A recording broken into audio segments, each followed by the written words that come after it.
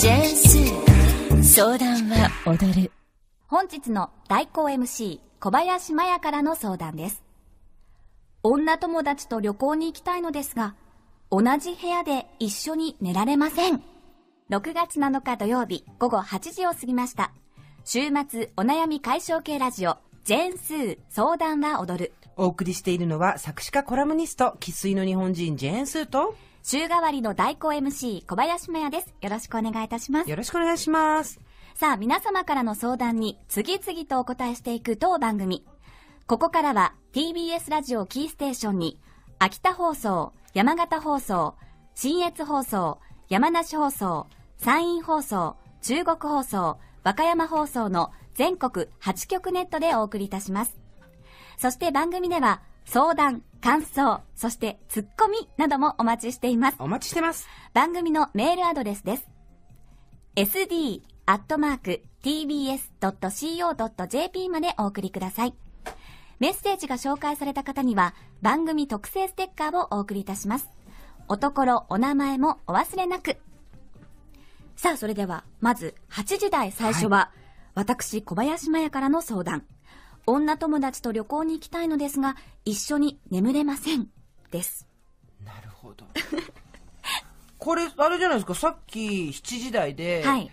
結婚した友達と旅行とか行けなくなって寂しいですよね。って言っときながら旅行に行ったら一緒に寝られないってどういうことだ？小林さん。いや、一緒に行きたい気持ちはすっごくあるんですけど、同じ部屋で寝たくないんです。なぜなぜ？それは。理由は？寝たくないというか眠れないんですけど、あ一緒の部屋に泊まったことはもちろんあるわけだ。もちろんあります。うん。あの、まあ、修学旅行もそうですし、そうですよね。え大そんな昔から？昔からで小学校ぐらいからもう眠れなかったんです家よ。族は？家族は大丈夫なんですよ。家族は大丈夫だけれども、はい。友達がダメ。友達、なんか気にしちゃうんですよね。うん。睡眠ってすっごく大切だと思ってるのでうんうんうんうん、なんか私、ちょっと寝相が悪かったりとか、あと寝言が大きかったり、うん。あと、はっきり喋っちゃったりとかして、うん。で、ちょっといびきもするので、うん。それで起こしちゃったらどうしようって気にしちゃうんですよ。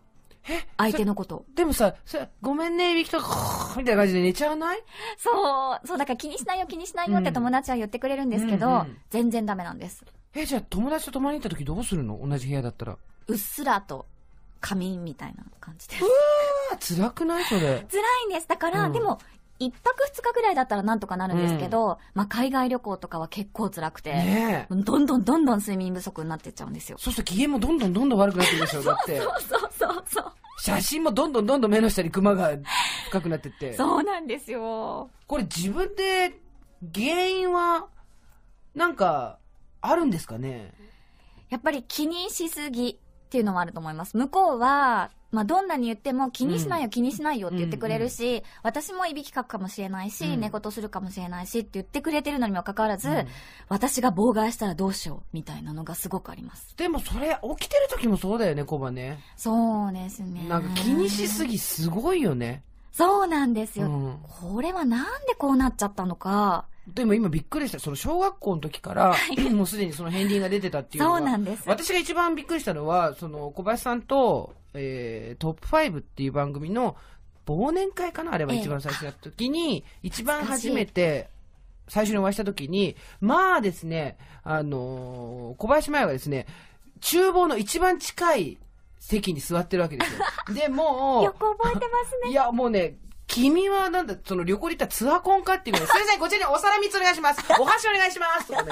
すいません、こちらの鍋お願いします。とか、すいません、そちらこっちにお願いします。みたいな。なんでこの人交通整理やってんだろうと思って。はい。ゆったりご飯食べれば全然食べてなかったじゃん、だって。そうです。よく、はい。それで、うですね。れで私がちょっと意地。悪をして、はい私の方に近いものを寄せる、あの、予想ときに、小林さん私がやりますよ、つって、予想としたら、あ君な、ガッってね、小鉢持ってね、大丈夫です、私がやります。すごい力だったよ。アームレスリング、あの、優勝者みたいな力で、そんなに？持った小鉢を離さないの。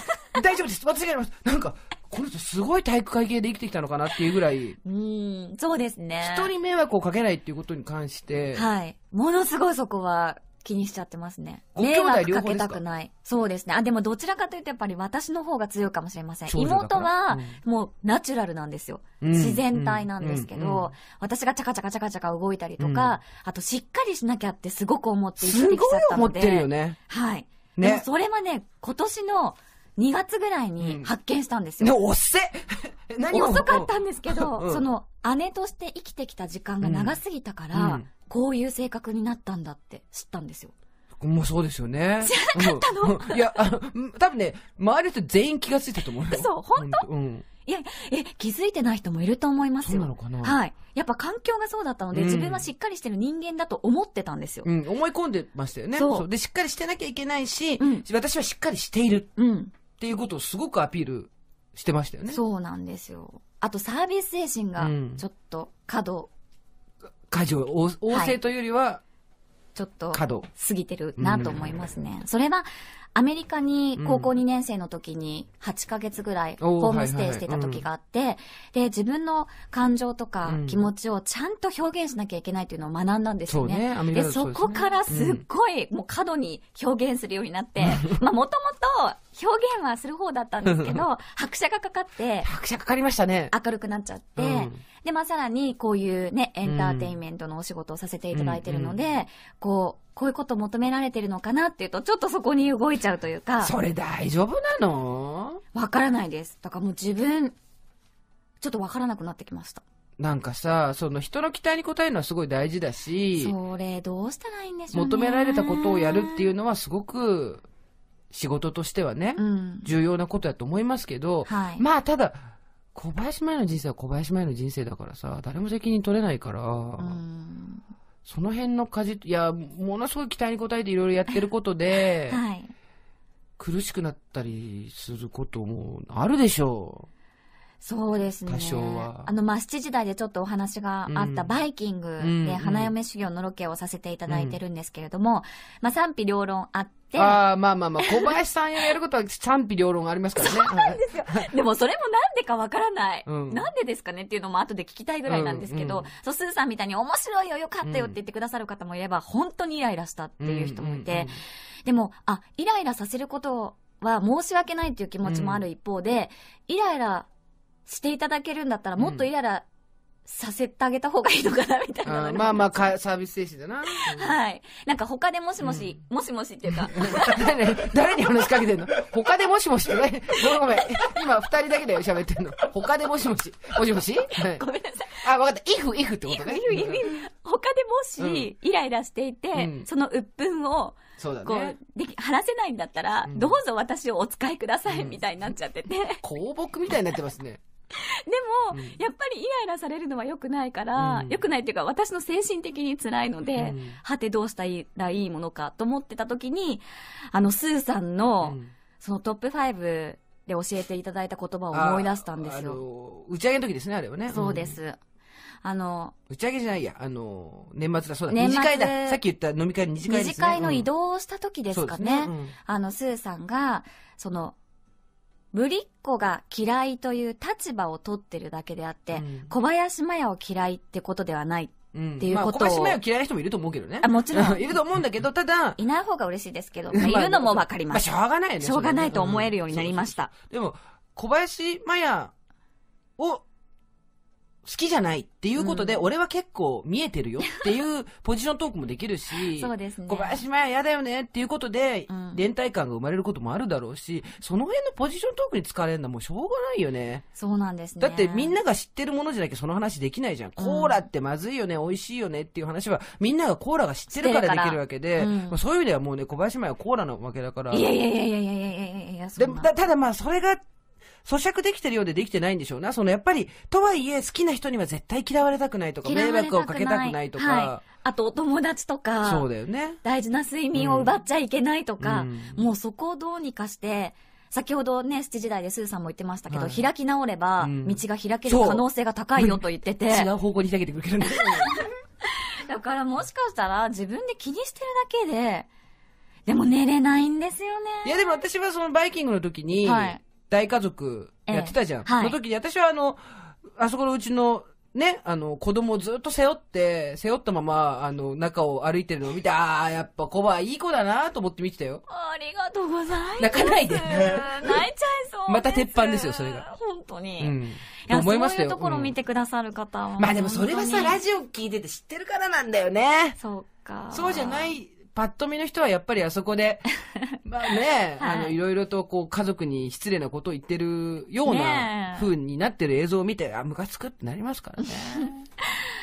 ねえ優しいなと思ったよ、本当に子供背中に背負ったも結構重いでしょう。それ、後ろで背負ったままずっと歩いてて。そうなんです。子供にね、すごく好かれるので。それはいいことですよね。はいだって、ブスブス言われてましたけど、あれ絶対私だったら言ってこないからね、子供。あれね、誰にブスって言っちゃいけないか分かってんだよ、子供は。怖いからそうそう、怖いから。怖いから言っちゃいけない。怒りそうですもんね。そうそうあれもうほんとずっと言われてて、うんもうどうしようかなと思って、で、ちょっと怒ってみました。でもあれの番組はやっぱ面白いですよ。はい本当にあのコーナーは。あのいやもう本当にマナーの先生と、あ、固定でいいよ。マナーの先生と二人のコーナーっていうのもそうあるんですけど、本当にその先生が怒ったりして、怒って響いてんだか響いてないんだか分かんない小林麻衣が本当に面白くて。響いてますよ。響いてんだったらなんであんなに熱くじゃがいもの皮切るんだよ。あれは不慣れだったの。わかるよ。これ演出じゃないなと思いながら見てたけどね。演出はないんですよないね。そうそう、演出がないのがまた残念なところ残ですね。念なんです、うん演出ですって言いたいところなんですけどね。ないんだよねそうなんです。でも徐々に徐々にゆっくりではありますけど、あの、それでいいっていう、まあ、ある意味開き直りはそこではしてなくっうんうんうんうんて、本当に成長していきたいなと思ってるし、まあ今までどうしてもそこが苦手で、はい。お料理がうん手をつけられなかった、それ言ってましたよねそう部分だったので、うんそこをこのテレビ番組でうん花嫁修行やらせてもらえるってなんて光栄なことなんだろうって最近はそう思ってきて。ですよね。まあでもね、それもムカつくんだよ。何言われても全部ポジティブにするのとかが、何を聞いても全部ネガティブに捉える人から見ると、何綺麗事言ってんだこの女とか、なんでこいつ何でもそうやって、あの、傷つかないんだとかあっていうのも腹に立つんだよ。なるほど。今日はポジティブなんですけど、明日はわからないです。そうだよね。そうだ。その辺の奇妙でもラジオリスナーの人は分かってるじゃないですか。そう、本当にね、うん TBS ラジオをお聞きの方はだってね、トップ理解5してくだ始めた時。だって、最初は、ああ、小林麻衣超嫌いって言ってたのが、全員最後終わるぐらいの頃には、コバいいやいいやつだよってなったじゃないありですか。がたかったですね。だからその部屋でね、一緒に寝れないっていうのも、でも私が今回びっくりしたのは、子供の頃から人に迷惑かけちゃいけない、長女だからしっかりしなくちゃいけないっていうのが、睡眠にまで影響してるようだったら、もうちょっと自己肯定した方がいいと思うよ、本当に。それね、うん出ました、自己肯定、うん本も読みました。どうですか？でやり方がわからない。自己肯定。どうやってやるの？なんか自分はこれで OK なんだうんとか言うっていうのも書いてあって、うん OK なんだ、OK なんだ。私は愛してる自分をとかやってるんですけど、一人で？なんでもわからない。痛い、痛い子だよ。痛いっていうか本当に悩んでるんですよ、自己肯定に関でして。きないんだ。でも他人からずっと評価されることによって、その自分の、あのそう存在をそこに置いていると、もう絶対一生満たされないので、そうだよそそれは良くないと思ったんですよ。うんうん私これからの人生辛いし、うん本当そうだよ。なので、自己肯定したいんです、今年。うん。そうしないと相手も見つからないと思うんです。まあ、そこ戻るんだ。はい。なので、自己肯定の方法を教えてもらいたい。自己肯定の方法は、でも自己肯定、ちょっとトリッキーなものいいですけど、人もあれでいいんだっていうことが先かもね。どっちが先かちょっとた、鶏か卵なんですけど、はあ、はあは結局自己肯定できないのって、すごくジャッジメンタルになってるってことだと思うんですよ。あ、そうなんだ。そう、いや、人も自分も裁くっていう、うんうんうんうんそういうジャッジメンタルになってるってことだと思うんで、はい。あの人あれがダメだよねって思ってると自分のことも多分返す刀で肯定できないっていうのは私は多々ありましたね。だか、ら、いいんじゃない？あの人があれでいいんだったらいいんじゃない？とか。いいんじゃない？うん。だから自分もこれでいいんじゃないっていう、人を裁かなくなると自分も裁かなくなるっていうのは私の場合はありましたけどねある種どっかでやっぱ人のことも裁いてるとこもあるんだと思うよ。さばいてるのかな、うんだから自分にもすごく裁きが多くて、苦しいのかしら。うん。だって人が間違えてもいいんだったら自分が間違えてもいいはずじゃん。うん。いいと思います。自己肯定力の話はな、ちょっとこれ、この時間だけだとなかなか難しいけど、一生かけてしていって、一生かかるの？どうだ、まあでも、どっかでポンって線が抜けるかも。うん。え、スーさんは自分のことを愛してますか、愛せるようになりましたね。えー、何がきっかけで？年だね。年っていうのはでかい。え、いつ年っていうの頃はでかい。今34でしょ？?34 ですす。私、38ぐらいだったかな。うん。まあ、でも20代は仕事に全て捧げてきたので、私も捧げました。ちょっとそこがうん人よりもちょっと遅れてるんですよね。わかる恋愛も全くしてないし、うんうんうんつまり自分の成長が止まってるんですよ、精神的に。うんうん。だからちょっと34大丈夫かな。ちょ子供っぽいよね。そうなんですよ。あの、バランスは悪いと思います、確かに。あの、不バランス。で、も、それは決してコバのことだけじゃなくて、うん20代バリバリ働いてきた、比較的、あの、恵まれた方家庭環境で育った都市部の女ってのは多いですよ。それは。それは私が書いたその本の未婚のプロたちももともとそうだったし、うんうんうん非常に恵まれたことがあった、多かったので、うんその人の痛みだったりとか、うんその世の中の全般のことっていうのが、ええ知識知識として体感として分かってない。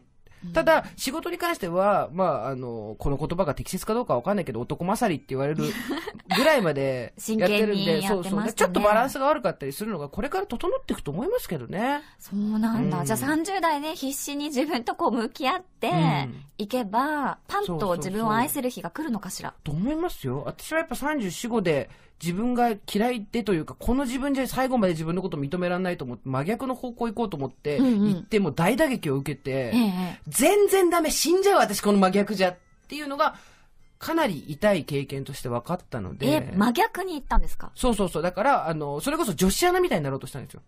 今から考えたらもう完全に頭おかしいんですけど。そうそうそう。女子アナめーって思ってて、あれが憎いんだったらあれになれば憎くなくなるなと思って、うんうんうんなろうと思ってやっ何が憎いんですか、女子アナの？なんかこう、みんなから愛されててモテそうなのが。あと、あの、親受けとか寄せそうな、よかそ、良さそうな感じとか。あ、親受けは良さそうですね。そうそう、親受けが良さそうなところとか、はなんかあと、あの、セットアップのニットとか似合いそうなところとか、そういうのもすごい嫌い。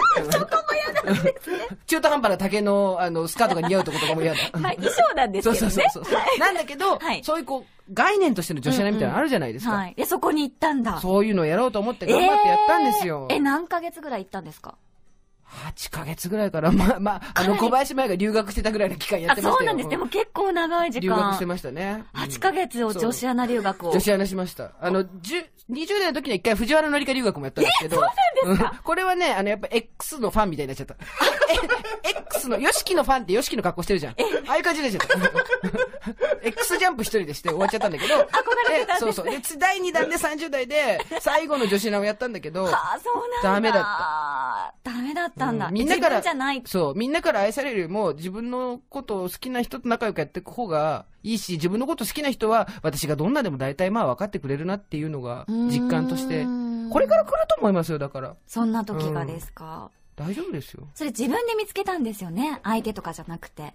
自分でその真逆をやってみて発見ってことですよね。それはそうです。じゃあ私も真逆をやればいいのかな。なんかヒップホップとか聞きながら、あ、でも違う、何が憎い？憎い。うん。自分がイラッとする人っているじゃん、絶対。それが本当イラッとする人がいないんですよ。なんなの、その、こう、でもね、これもうん何にも本当にいいこっこしいしてるとかじゃなくて、いいこっこしい、新しいことです。いい格好しいしてるとか、ぶりっこしてるとか、うんぶりっこじゃないんですけど、うん全くイライラとかがないんですよね。まあ基本的にね。はい。だから、でもそれ、イライラし脳天気なんだとイ思う。ライラした方がいいと思う。そう、ちょっと脳天気。うん。だから、ど怒りがあんまりないんだと思います。うん喜怒哀楽の。イライラはするでしょ、でも。イライラちょはっ、とぐらいは。そうですね。自分にイライラはする。すごく自分にイライラする。はい人にはあんまりしない。まあ、人にはそうですね。何やねればいいんだろでも自分はこうなんですって決めないことも一つの手かもよ。今みたいに話されちゃうと、もはいう取り付く島がなくなっちゃうからさ、う。聞いてる方が。うんうんうんそうですよね。うんリスナーさん、本当にごめんなさいって感じです。というわけで。今、夢中でやいや、全然。というわけで、はい小林麻衣は相変わらず瞑想中というのが分かってね。皆さん、ラジオリスナーの皆さん、本当にありがとうございます。失礼しました。